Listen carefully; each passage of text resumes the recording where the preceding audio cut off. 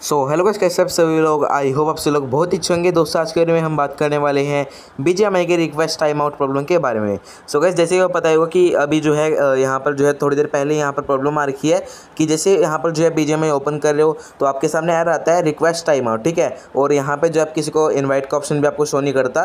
दोस्तों, आज के लिए मैं आपको बताने वाला हूँ कैसे आप इस प्रॉब्लम को ठीक कर सकते हो हमेशा के लिए। बस वीडियो को एंड तक देखते रहिएगा। साथ में अगर आपको वीडियो अच्छी लगती है तो प्लीज़ वीडियो को लाइक करके चैनल को सब्सक्राइब कर दीजिएगा। तो चलिए मैं किस तरीके इस वीडियो को हम शुरू कर लेते हैं। सो so गैस यहाँ पे मैं आपको बता देता हूँ उसका सोल्यूशन क्या है। दोस्तों, सबसे पहले हम क्या करेंगे, सबसे पहले आपको चेक कर लेना, आपका इंटरनेट सही चल रहा है, नहीं चल रहा है। ठीक है? हो सकता है कि इंटरनेट की वजह से आपको प्रॉब्लम आ रही हो। आप एक सिंपल सा काम क्या करेगा इस आपके फ़ोन में एयरप्लेन मोड का ऑप्शन मिल जाएगा, जिसे हम फ़्लाइट मोड भी कहते हैं। अगर आपके फ़ोन में ऑप्शन है तो आप इसे यहाँ पर जो ऑन कर लीजिए। आपको पाँच से दस सेकंड तक का वेट कर लेना होगा, जैसे आप इसे ऑन करोगे। उसके बाद गैस आपको इसे बंद कर देना होगा।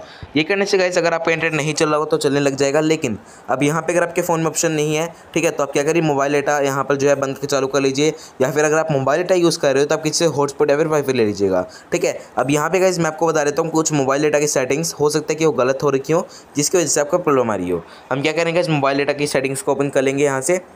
देन हम यहाँ पे हमारे सिम को सिलेक्ट करेंगे। एक्सेस पॉइंट नेम में आएँगे। यहाँ पे कैसे मिलता है रीसेट आपको यहाँ से रीसेट कर देना होगा।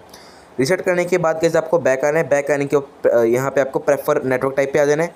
उसके बाद गैस अगर आपका फ़ोन फाइव जी तो आपको प्रेफर फाइव जी सेलेक्ट करना है। अगर आपका फ़ोन फोर जी चलता है तो आपको एल टी सेलेक्ट कर लेना होगा, ठीक है?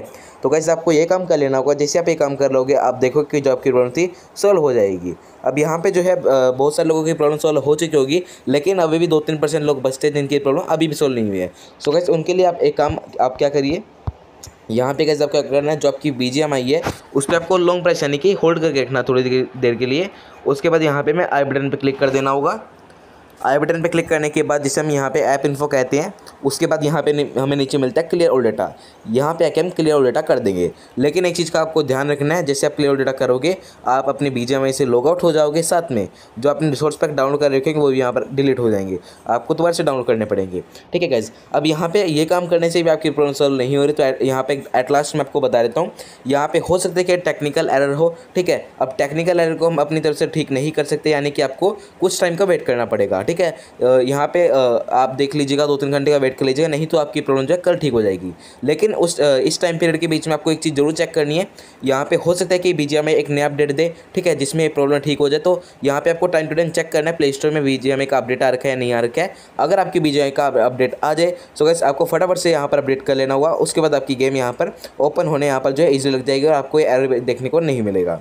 तो बस कैसे आज के लिए मैं आपको इतने बताना था। अगर आपको वीडियो अच्छी लगी तो वीडियो को लाइक कर देना, चैनल को सब्सक्राइब कर देना तो मिलते हैं अगले वीडियो में, तब तक के लिए बाय